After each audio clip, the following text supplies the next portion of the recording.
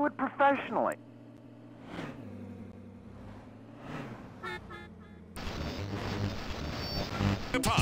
Well, I wasn't, but these guys were.